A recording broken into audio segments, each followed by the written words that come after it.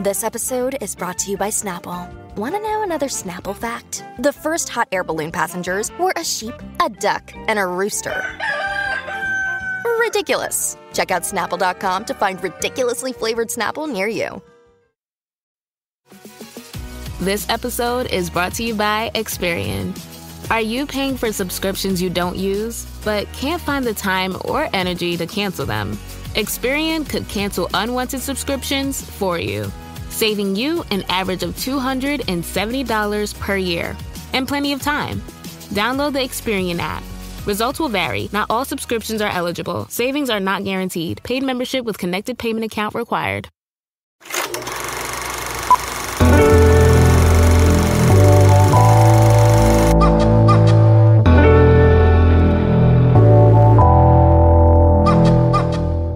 Everyone. My name is Jack Rico, and he's Mike Sargent. And he is brown, and I am black. And this is the Brown and Black Podcast, a show about seeing race in media and entertainment through a brown and black lens.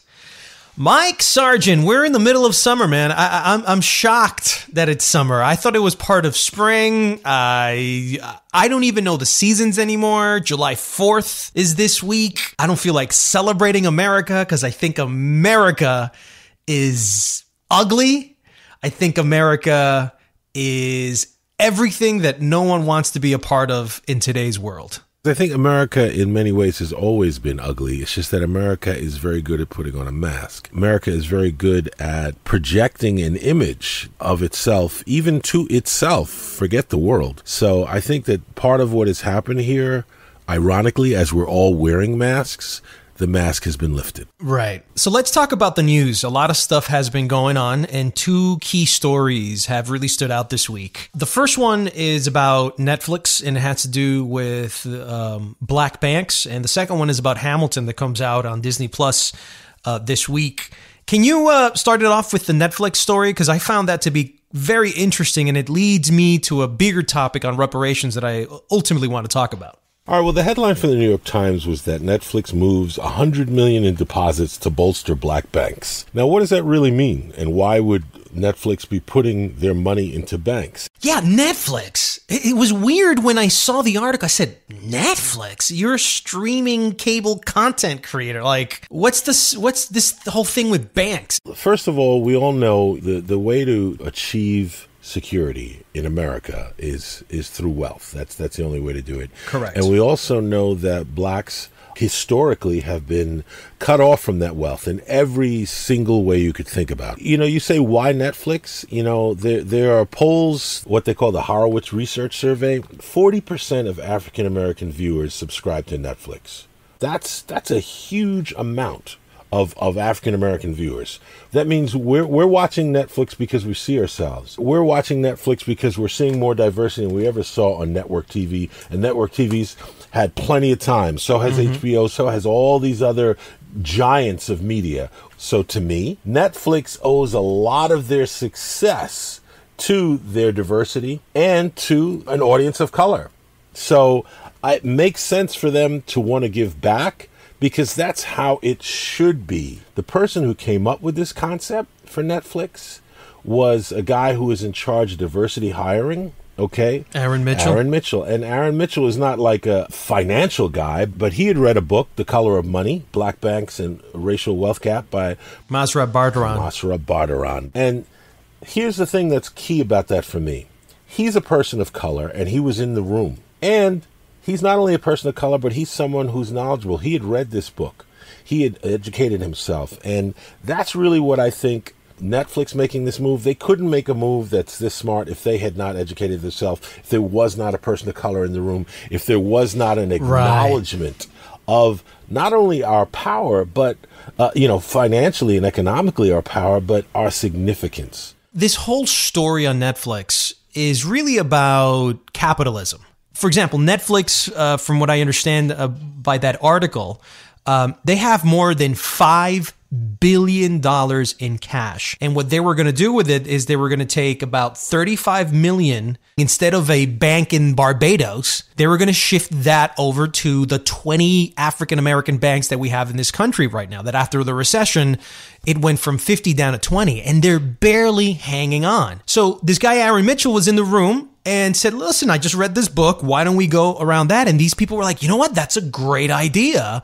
Why don't. And, so they were thinking about it before George the George Floyd. Floyd. Right. Like you said, if it wasn't for a black man being in the room, where the room where it happens, if he wasn't in the room where it happens, Netflix will not be given this cash. So, how key is it for that to happen? And how key is it that Netflix is starting to put money and hopefully every other major streaming giant will start putting money in black banks. That way, you can start closing in on the racial wealth gap. A friend of mine, and I have to give him credit, named Mick Noya, said something that I think is very key here to everything that's happening, to Netflix wanting to address it, to let's just say white people in general. He said that white people have discovered racism in this country like they discover a new show on Netflix. And, and, and, and, what's great about that is, it, is it, it's true because there, there, was a poll I was reading that said uh, a Monmouth poll that that said 76% of Americans and 71% of white Americans believe that racial and ethnic discrimination is a big problem in the United States. But a few years ago, little more than half of white Americans believe that. Now they were so shocked they thought there was something wrong with the poll.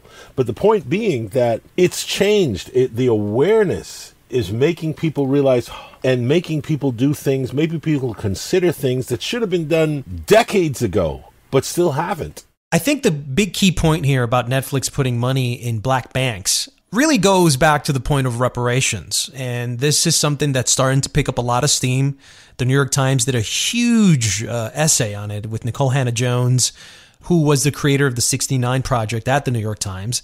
And she wrote this essay um, where essentially she was saying look at that look at everything that has happened. Look at the amount of inequality. It is time that we ask for reparations. Now marianne williamson who was a former presidential candidate for the democratic party mm-hmm.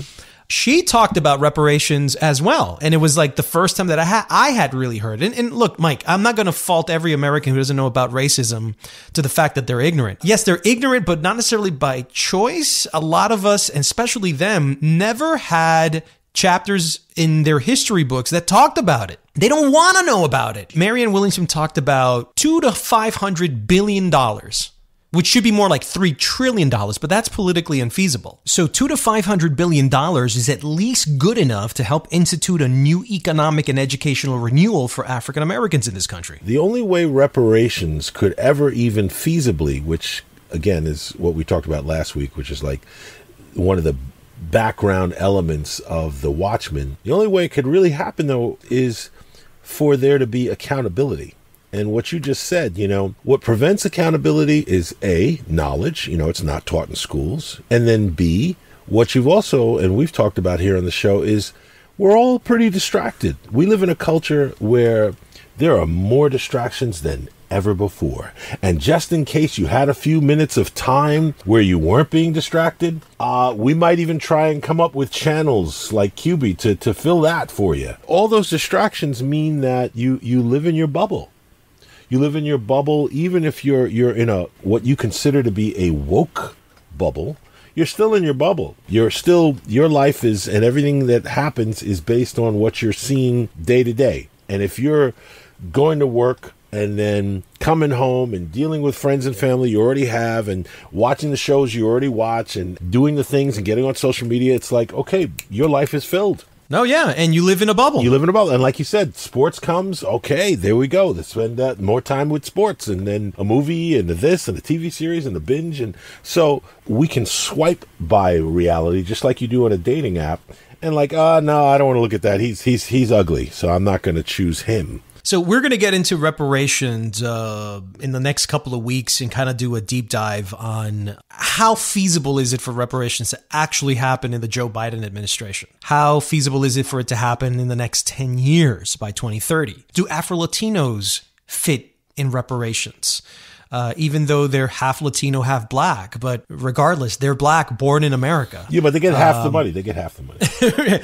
uh, so we'll talk about that later on our show in the next couple of weeks. And the other story I want to talk about is Hamilton, the movie, quote unquote, the movie. This is a movie that came out on Disney Plus. It was supposed to come out in movie theaters, but because of COVID, it didn't happen. And now the most obvious platform for Disney is to put it on Disney Plus. And I had a chance to watch it again, and it was interesting watching. I had been there on, I believe it was like the second or third week that Hamilton opened on Broadway at the Richard Rodgers Theater. I was sitting second row with my wife. It was a big event, but I'm going to lie to you if I didn't tell you that I uh, that I remember every single line of that show. I don't remember much. It was such a blur. The, the, the it was a phenomenon. I think people need to understand. It was a phenomenon. I had not seen a phenomenon or been a part of a phenomenon like that in years. I think the New Yorker, the most one of the most respected magazines in the world, had an eight-page essay on Lin and the show. It was incredible. And Everybody was there. Katie Couric, Meryl Streep, uh, executives of media business, politicians. It was incredible to be there. And so I loved it, but I also felt like there was a certain surreal factor of everything that it didn't allow me to retain it. Now I'm watching it in a different, from a different visual approach. There's cameras on the stage. They're closing in on close ups. Uh, we're capturing the drama of the actors a lot better. Um, we can rewind and catch verses that we didn't catch before. But here's the biggest thing, Mike. Watching Hamilton from a new racial lens at post George Floyd really made me think differently about this, about Hamilton. And it was the fact that if we're going to go ahead and accuse now in history, right? Hindsight, that George Washington Thomas Jefferson, and most of the founding fathers were all slave owners, then Alexander Hamilton himself has to also be accountable for that part of history, which was never ever mentioned in the show, in the musical. Why? And so recently, um, I got an email, like maybe 20 minutes before we began our, our podcast, about a new campaign called Abajo Hamilton. Abajo means to go down. Abajo Hamilton is composed of New Yorkers that are Latinx, uh, Afro Latinos, and blacks. Some scholars, uh, some people in the media business that are getting together to tell Disney to cancel Hamilton, to remove it from the streaming services, and to never allow that movie to come out. And a lot of it saying is because there's a blood legacy with Alexander Hamilton. Now, why hasn't it been mentioned um, more prolifically? There was there was a woman. Her name is Annette Gordon Reed. Uh, she's from Harvard, and here's what she said about Hamilton: Audience and critics love it, but historians don't. Artists have the right to create, but historians have the right to critique. If audience and critics love it, then that means that you can't mess with Hamilton because if you do, the derision will come on extremely heavy. This show means way too much to too many people. It makes too much money. It's part of an iconic cultural institution now, that show. And to speak bad of it means that you're going to go, much like Armond White, the black film critic, you're going to be put on someone's shit list for the rest of your life. So it's it's incredible that people are now taking the time out to question Alexander Hamilton and his celebrity and how they're changing the narrative to make him some sort of hero, even though he was part of buying and selling slaves for his in laws. I have always been in the minority about Hamilton. Did you see it? Of course. I saw it maybe a month or so after they filmed this. I saw it with the original cast. I saw it be- before, as it was just beginning to build as a phenomena. That's when I saw it. It was still, again, they had, they shot this, the, what we saw was shot, I believe, in July or June. I saw it the beginning of August. While I enjoyed it, and I thought it was enormously creative. But what was it a really a celebration of? Uh, uh, was it really a celebration of Black and Latino culture, or was it a celebration of of America through the lens of of Black and Latino music?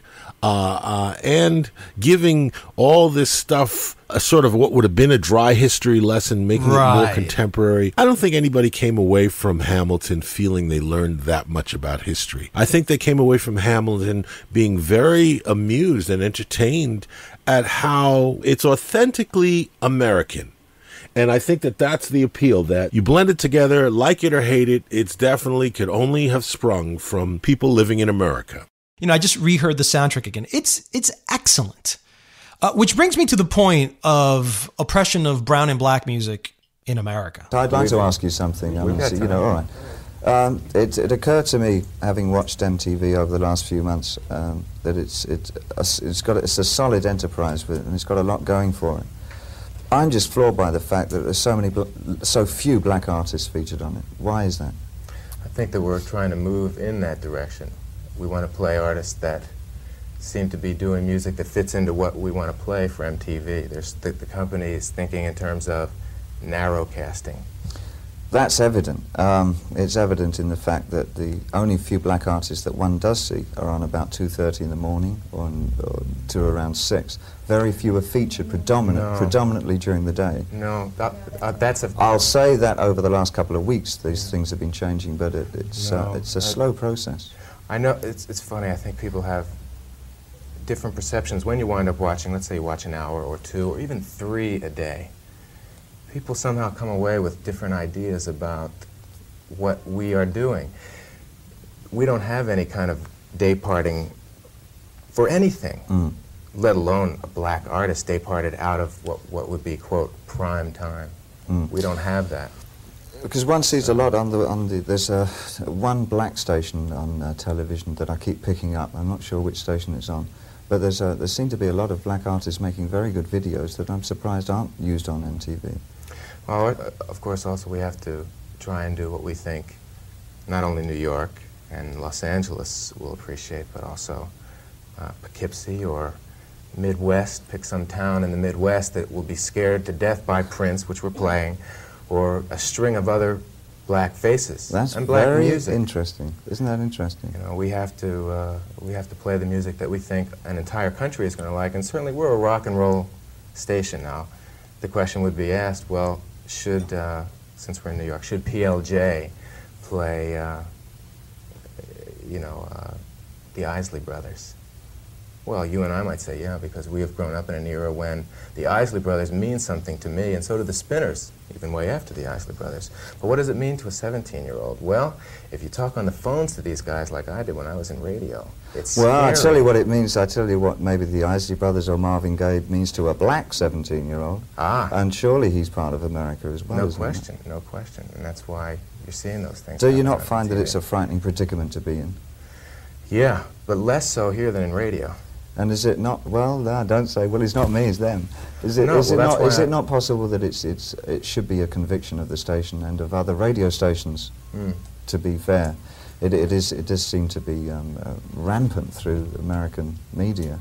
Um, is it, it should it not be a challenge to try and make the media far more integrated in those in music, happening. especially of anything in musical terms? Mm -hmm. Absolutely, I think it's happening because white music, and white musicians are now starting to play more than ever, what, uh, more than they have lately, let's say, in the last 10 years. Yeah. What, what black artists have been into. Mm -hmm. And mm-hmm. now, hopefully, the lines are going to start to, to blur. And when we play a band like ABC, yeah. well, there's, there's white and black kids who are enjoying it. And all of a sudden, well, it's, it's a little bit easier for a white kid to understand it. The fact is, quite frankly, I, I, could even point you towards a letter in the new issue of The Record, yeah. that magazine, The Record, responding to an article by Dave Marsh that this, this kid just ranted about what he didn't want to see on MTV. Well, that's and his in no uncertain terms. Well, what I'm saying though is that there's, as you say, there's certainly a, a lot of black kids and white kids who may want to see black music. Mm. There's a ton of them who are. It's not like it was in '67 where you say, "Yeah, I'm, I'm not into that, you know, but you are, you now it's, you're into that, I don't like you. And that's scary, and we, can, we can't just turn around and go, well, look, this is the right way. We can only teach, I think, a little bit at a time. Interesting. Okay, thank you very much. Does that a, make sense? Valid point? I understand your point of view. Okay. What's so powerful about David Bowie saying that, and, and you really need to look at the visual, and we're going to put it up on our social media so you can look at it, is how he watches this guy from MTV squirm at the concept of so you're just catering to the racism and not looking to make any change. You're just catering to what's there. And it made me think of what you're saying here about that pushback, but we have this perception. They can't afford to. It's it's it's well, we have to play to our audience. I mean this is our audience. Like why should we change? If it isn't broken why do we fix it? The question is how do we get the industry to see that it's broken? You had sent me this david bowie mtv interview back from 1983 that he had done it with vj mark goodman. Interesting. I think this was like the scenes that were cut before the interview actually began. Yes. And I think the cameraman was rolling and caught that and never deleted it. What I saw there was two interesting things. We saw two white men. One was all for black music and defending challenging challenging challenging challenging the status quo that this guy was like well yeah but we can't have a day devoted to rap or black music what would I mean, white people think about what would white videos? people think with all these black faces and by the way that's the same thing that happens in radio you know, recently Rolling Stone magazine came up with an article about racism in the radio business, and it talked about how I think it was Sirius XM, iHeartRadio, and uh, one other major radio network named all the black people that had died in the last like year or so and just did a stream of those names just announcing them. And you know it was it, it was very powerful. Problem is nothing else changed after that. And they were saying that a lot of people were complaining from classic rock genres that didn't want to hear this. And they asked programmers what the big challenge was. We make money off of white music. If at any point we alter that, we're altering our business model. We're shooting ourselves in the foot, and most likely our business will fold because of it. So the question is is it worth having businesses in the music industry that continue to oppress brown and black music? I think that's a great question. I, I, think coming back to what we were talking about before with Broadway, if this has been working, what incentive do we have to change it? What what need do we have to show black music videos when we should show plenty of white music videos? Why should we give our business to black businesses when we can do it with white businesses like we've been doing? Why should we change when things have been as far as we're concerned, this is the privilege part. When as far as we're concerned, things are fine. You know, as far as I'm concerned, America's great. I mean, you look at New Kids on the Block. They were the biggest phenomenon boy band in the 80s, and they're probably the first white boy band that reached those levels. I mean, a true boy band, not, not including, you know, the Beatles. That, that to me was more of a band than it was a boy band. New Kids on the Block were essentially run by black leaders, by black executives uh, from at Columbia Records, who were flipping the script at that point, who were flipping the script to try and gain yep, a yep, business advantage. Yep, yep. New Edition, which was the band that had Bobby Brown, et cetera, yep. et cetera, and all the other members, they were a big hit in the black community. Yep. Yet they were promoted to white audiences and white girls, and they never hit the way New Kids on the Block hit. Of course. And, and you could tell it was because one was black and their projection into the future was halted because of their skin color. Yet they were playing the same R&B pop music that New Kids on the Block were based on. Dude, the fact that Vanilla Ice even had a career says everything. Says everything. I just feel like when you look at the award system, you know, just recently the Grammys fired their female like CEO executive. The Grammys have been accused in the past of not awarding black music, uh, the big awards of the night. They've been accused of sexual assault, sexism.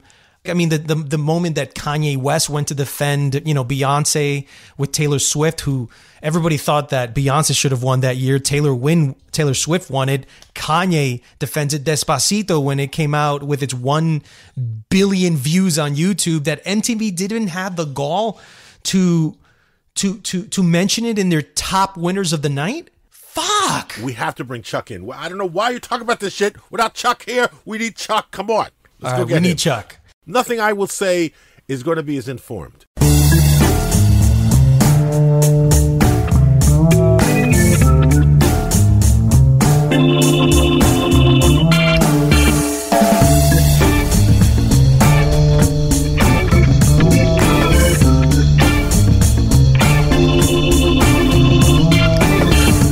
Chuck Creekmur, you are the founder of allhiphop.com. You're someone who's been in the business for more than a minute. You've watched it grow, you've watched things change, you've helped launch the careers of a number of people. You've given TED Talks on on all aspects of of music and especially black music. One of the topics we've been talking about here is how the black and especially black and brown music has been co opted by the industry, how lots of money is being made, but we don't get the same level of accolades. We don't get the same level of awards. I think that the first question, Chuck, is where is our, our music industry today when it comes to race? Have we made any progress? Is it as worse as, as, as it's ever been?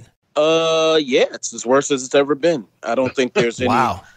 real uptick. There's no difference. Just look at hip hop, for example. Hip hop is such a new phenomenon. I mean, it's over 40 years old, but if you look at the business side of things, how it's been co opted and really overtaken by folks that are not of the culture, much less black or brown it's really just symbolic of the entire music game. So, um, and it's it's it's interesting because even more so now than say the '90s, we don't even really have moguls anymore. So, it, you know, back in the hmm. day, you would have a, a Dr. Dre. Well, yeah, Dr. Dre, Puffy, even a Suge Knight.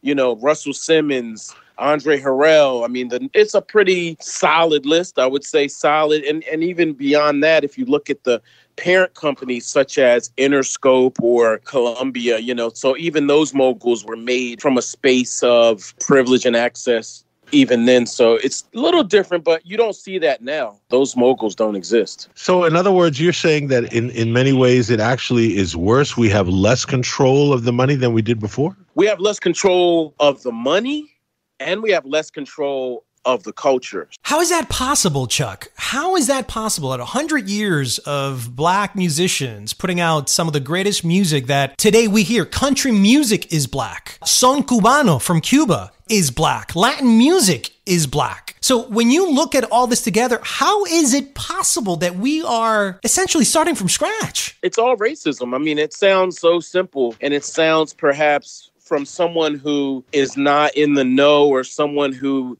comes from a an extreme place of privilege, it may sound like an excuse, but it really is. So if you just look at a basic rapper, you know, in his teens or whatever, or her teens, coming out right now from an impoverished space, what kind of music are they going to create in order to change that situation? Because let's be clear, most people are not going to be in the NBA. I think a lot of people realize that. And then there's hip hop. So they're going to make music that is probably anti black or certainly not revolution based, like, say, a public enemy or a KRS One, because what happens is somewhere along the line, there's a white guy is like, hey, I'm not putting money behind this. I'm not putting folks that speak truth to power on in my company they're not going to empower that type of an artist so they might not even empower someone that just speaks what you would call truth. They really only promote those artists that really speak to women in a, the most negative ways. They use the N word. I mean, just like as if it's breathing. They um, really are really just a cancer to black culture in a lot of ways. Now, I'm not really opposed to any particular type of hip hop music. But what I do believe in firmly is balance and being fair. So if you're going to have someone like that, then you need to balance that with someone that does speak positively, or like a Heavy D, or a Tribe Called Quest, or someone that's not extreme, like say. You know, Ice Cube or the Geto Boys or someone like that. So, I have two questions for you, Chuck. Number one is what are your thoughts on reggaeton? And the second one is if Latino artists and black artists are the ones that are making the money for white executives. What can we do to reclaim our power? Since they're making money off of our sweat and toil, every concert, every promo, everything that goes along with bringing in and generating that revenue. How do we then take control of that and create our own record labels?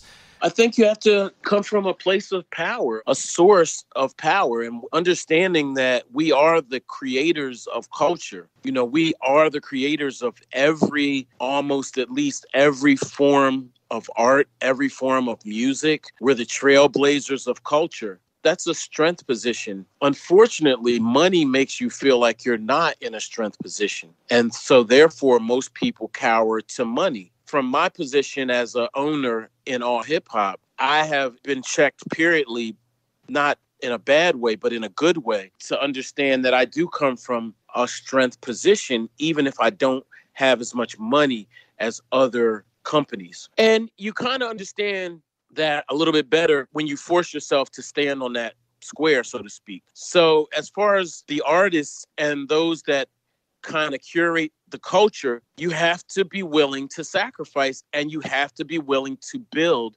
And you have to understand that this is a long, long, long race. And it's really a journey. It really has no end. You have to understand that a lot of this may not be seen with your own eyes and that there are future generations that may benefit even more so than you do in the future and that's really tough you know that's really tough when you have a kid that has to go to college and that's your son or daughter or you have bills to pay or whatever you call it and there are no easy answers but i think at the end of the day, we're in a space now where you can be smarter. I think you're able to create systems and use technology to level the playing field. And I think that you can also market and collectively gather your community to create the wealth that you need to be powerful. But you have to be willing to sort of be strong, brave, courageous, daring, and faithful that you can do it. And it can, it is being done, and it can be done, but you you have to start there. And your thoughts on reggaeton? Um, my thoughts on reggaeton, I, I love reggaeton. I, I'm not 100% tuned in because from my vantage point, it kind of came, it, it, like, it like came and went when it comes relative to hip hop. But um, yeah, I, I, love it. I think that we're cousins in terms of musically cousins, and I would really like to see more cross collaborations the way mm-hmm. they used to happen. Yeah, so that we come together a little bit more. You know, black and brown, we don't always admit that we have a shared struggle. Why is that? Well, colonialism. you know, I think colonialism, a lot of miseducation. Folks are taught that lighter skin in many instances or certain texture of hair or if you're closer to white quote unquote then you may be better i think that we don't know our history that a lot of us came off the boat a little earlier than others. There's so much, but I think it boils down to colonialism and, and a lack of education of where we all come from. And that's unfortunate because I think we're far more powerful if we do understand that our similarities are more than our differences. You know, hip hop culture was created by black and brown people. From a business standpoint, I just had a meeting with a guy, and most of their funds are being allocated to Latin outlets. And now that Black Lives Matter and whatnot is back in the headlines, they are now deciding to, oh, we you, we have to allocate money to black outlets too now. So when you're talking money, some of those dollars are not coming to us because they prioritize other ethnicities more than than black people. So in other words, black outlets matter. Is that what you're saying? yeah, black media matter. yeah. So man, uh,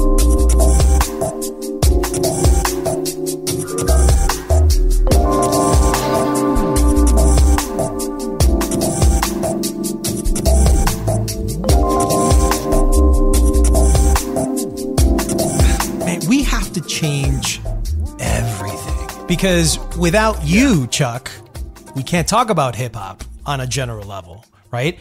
We need black journalists. We need black media companies that can promote black artists, Latino artists, et cetera, et cetera. Yeah. And it just mm-hmm. seems that that is always a major struggle. Mike and I were just talking about Netflix. Well, they gave $120 million to, uh, to black colleges, I think about a year ago. Now they're going to put in about right, right. $100 million in black banks to try and fortify those communities there. I don't know if that's enough, but but it's it's progress. And and the more we have people like you, Chuck, like this show and this platform, and we're talking about these real conversations of how to improve our lives and improve the America that we love, but we just don't like it in the way it's currently in, that's gonna take Yeah. a lot. That's gonna take a lot. It is going to take a lot. You see logos changing color; they're red, black, and green now. And Right. you see these commitments. You know, 100 million here, 100 million there. From where I stand, if you give me a fraction of that, I'm able to do what I need to do. Right. You know what I mean? you know, if you're giving out money, if if I have a piece of that, I'm able to do what I got to do to super serve my community. Correct. I really speak to systemic racism. I got tagged, and I'll send it to you, Mike, as soon as I get off the phone. But I got tagged on a post, like a friend of mine, and I, I don't know if we're friends now, but a, a gentleman by the name of Jon Caramanica. Oh, for the New York Times. Yeah, Jon Caramanica. We used to work together at BET. I, I've never had a problem with John at all. I think he's very smart. I think he's a great writer. I don't know how great. I don't really follow his work that closely, but I just say that he's been writing about black music at the New York Times for a really long time. And Latino music, by the way. He seems to be fascinated with Ozuna and reggaeton now, too. Yeah. So, I mean, I don't have a problem with John's personally, right? But it makes you pause, you know, why John? Why John? Why, you know, why John? I have the same beef with A.O. Scott of the New York Times chief film critic. Why is A.O. Scott reviewing Coco? It it it befuddles me to a point that yes, it, there's only one answer. It's systemic racism. Exactly. And it, it's so pervasive. And I'll tell you guys a little scoop. You know, we've been, my business partner and I have really been toiling over some of our business relationships. We we actually have we have toiled over no, a number of them, but but one in particular has been just highly problematic from a racial point of view. And I'm not going to detail that right now because I'll probably reveal too much, but we really are going to go in and when I say go in, really expose some folks in their racism, in their hypocrisy, in their sexism as well. It's time. You know, it's time. yeah, it's time. And you know, you kind of endure racism and you fight and you you survive it because again, similar to the rapper, you're you're not really bad, but you're not real you're not really great. You're literally making so much money for other people and they give you sort of a crumb and think you're supposed to be happy with the crumb. And by the way, the allegation against Jon Caramanica per Solange, the singer, is that he said to her, don't bite the hand that feeds you. And I'm just, I don't know the context of that statement, but it's so, so, so, so offensive in it really in any context to hear someone say that to him and he's a media guy and to say that to a singer of her note it, it just it really is is problematic. Hey, hey look let me flip the script a little bit. This is how racism works on the other end right? So solange i've never had a conversation with her a day in my life. You know what i'm saying? That's crazy. Right i've never interviewed her i'm a huge fan but i've never interviewed her Have you requested an interview with Solange? you know a long time ago And she said a no. long time ago. I won't say if she said no. I, I I'll tell you who told me no. Summer Walker. you know what I'm saying? So I mean, not her personally, but her people. So my point is, is this racism works in different ways. So for us, if we were able to, you know, interview Summer Walker, for example, just as a singer, or whoever, Jay Z, I mean, just just name your top tier name. That would be like money for us. That would be like cash money in a lot of ways. Not literally, but you know, it does generate traffic, which generates impressions, which generates money. But we have to really grind it out because a lot of these artists aren't accessible to us. So they they will run to TMZ, even though they've offended and pissed people off Yeah, so many times. They'll run to the New York Times. They respect Forbes. So if all hip hop says Kanye's a billionaire, who who's going to believe that? You know, We yeah, we need equity. We need equity in our own media companies. Uh, That's what I'm hearing from you. I'm hearing from you two things, Chuck. I'm hearing one, we need to have more people in positions of authority in the media that can speak about black and brown and not have it be a white guy who's talking from his white hmm. experiences growing up on how Yep. black music and, and black artistry is so excellent, as opposed to giving us those jobs and allowing us to to to to do social commentary on that. And then the second thing I'm hearing Yeah. from you is this notion of equity in media business. I I think you're kind of right. Would Yeah. you feel that if you go to allhiphop.com to to promote your your album or Brown and Black Podcast to promote your album, it's not scale enough, it's not prestigious enough, it's not the New York Times or the Washington Post. Absolutely. It's not, it's not, accepted valued. by the general white audience. Right. But it was a few years ago. So a Hmm. few short years ago, a lot of these artists would be acceptable.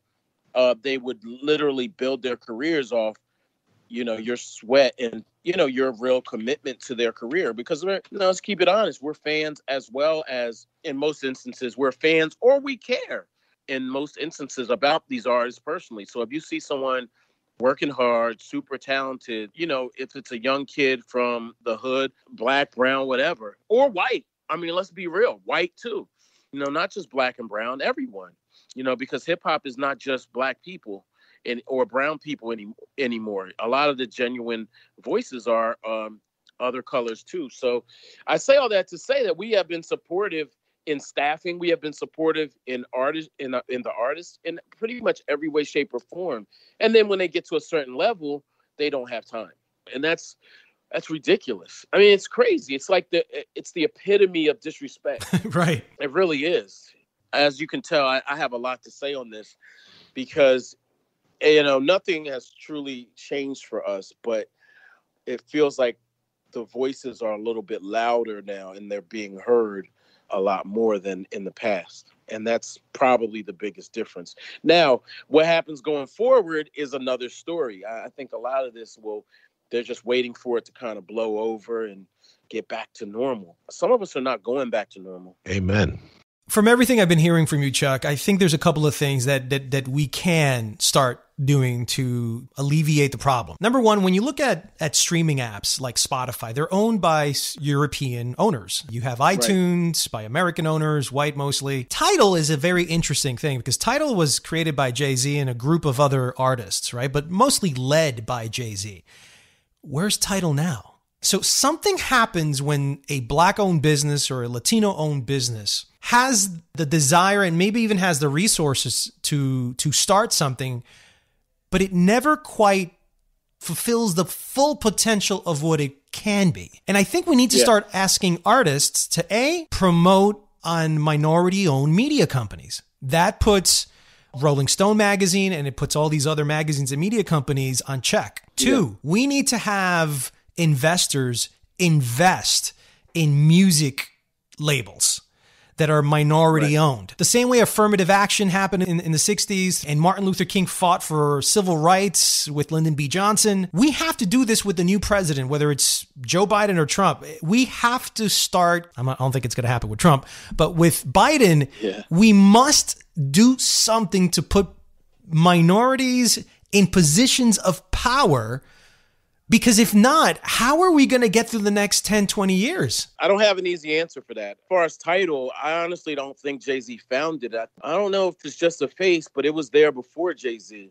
I believe, if I'm not mistaken, it was there. I think they're they're Sweden, based in Sweden, hmm, okay. and and Jay and Jay came in, and I think they had a great concept initially as being artist owned, but I'm not really sure of the particulars around that. But I think that's that's sort of a, a, a bigger problem as well. There's an impression that some of these folks own these things or founded these things, and I don't think that that's true. You know, so it really goes back to my kind of my initial thoughts are that you know the illusion might be there so you might subscribe to Tidal because you think it's black owned or you feel like it's black owned or minority owned Mm. and and maybe it's not it's just a front It's so insidious. You know what I'm saying? It's just so insidious the way it works, man. The way the system is rigged against us. Yeah. Some people are in on it. I mean, I hate to say this, and I'm again not speaking specifically about Jay Z, but a lot of people are in on it. And some of this is not to be told. I mean, you know, we know where bodies are buried in a lot of instances, and you can't speak on it because there are consequences to that. And and guess what, guys? Jay Z, for example, has to fight racism too. So the reality is, is while he is in like this great position of power, he's got to do sort of what he's got to do, how he's got to do it, and position himself powerfully. But compared to, say, Apple Music or Spotify, what are we really talking about? I think, honestly, the harder route, but more fruitful route would be for like a Jay Z to invest into a young, intelligent, brilliant mind to build something from scratch and really take it there. If you start thinking like that, and you understand that a lot of these people that are behind these companies are paying their bills just like everyone else, but they're actually putting all their sweat, equity, and their brilliance into a bigger company to make it even more powerful, then you understand that those people exist.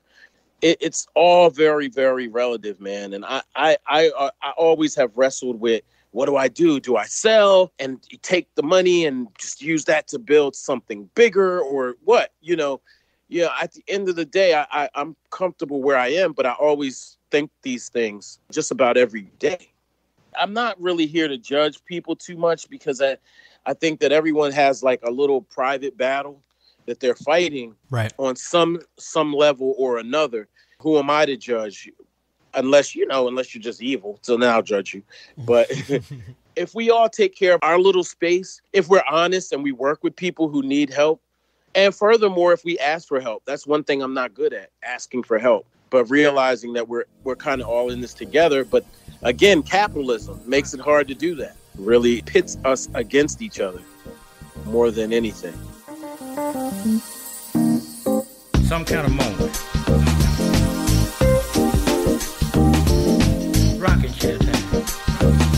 That's it for this eighth episode of Brown and Black. If you like our show and would like to support us, please subscribe and leave a review. It helps this podcast be heard by many more people. If you'd like to reach out to us, we're on Twitter at Brown Black Pod, also on Instagram at Brown Black Podcast, and on our new YouTube channel, Brown Black Podcast as well. Thanks for listening, and talk to you next week for another episode of Brown and Black.